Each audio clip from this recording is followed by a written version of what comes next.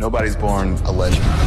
Takes drive, Sweat, focus, passion, sacrifices, All immortalized in 164th. Because legends aren't born, they're made.